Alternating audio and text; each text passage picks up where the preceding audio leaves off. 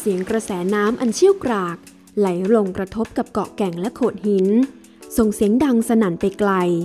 บอกได้ถึงความยิ่งใหญ่ของมัน นั่นก็คือ น้ำตกอีกัวซู น้ำตกอันทรงพลังที่ยิ่งใหญ่ที่สุด และไม่ธรรมดาแห่งหนึ่งของโลก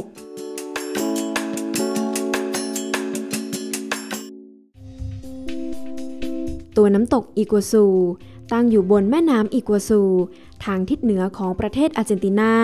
และทิศใต้ของประเทศบราซิล ในพื้นที่เขตอุทยานแห่งชาติอีกัวซู โดยตัวน้ำตก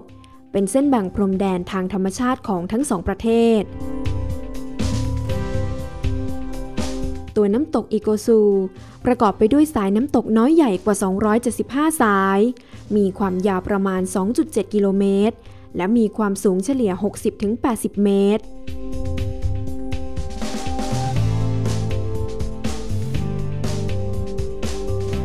จุดชมความสวยงามของน้ำตกนั้น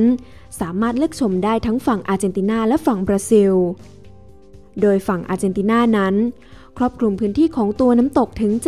70%จึงมีจุดชมวิวสวยๆอยู่หลายจุด จุดที่น่าสนใจที่สุดของฝั่งอาร์เจนตินานั้นอยู่ไกลมาก จะต้องนั่งรถรางเข้าไป และเดินเท้าเข้าไปต่ออีกประมาณ 15 นาที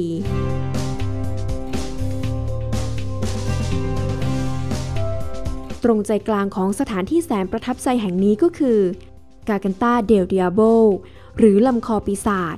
เป็นจุดที่รวมของน้ำตก 14 สาย ผนึกกำลังถาโถมลงมาตามหน้าผา จนเสียงดังกึกก้องไปทั่วบริเวณอยู่ตลอดเวลา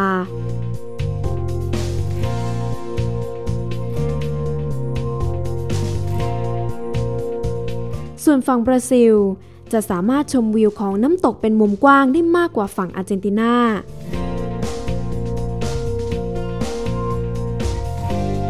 ซึ่งไฮไลท์ของจุดชมวิวฝั่งบราซิล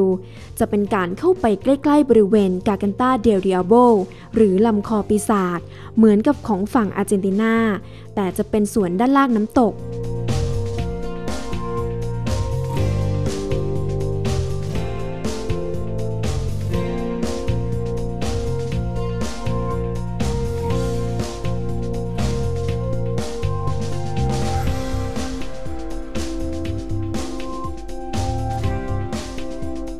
ถ้าใครยังไม่อิ่มกับการเดินชมความยิ่งใหญ่ของน้ำตกเอกุซูแล้ว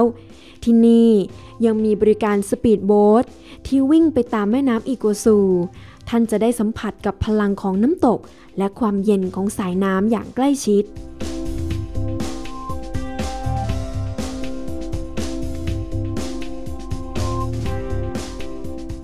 น้ำตกอีกัวซู และอุทยานแห่งชาติอีกัวซู ได้รับการขึ้นทะเบียนเป็นมรดกโลกทางธรรมชาติ ในปีคริสต์ศักราช 1984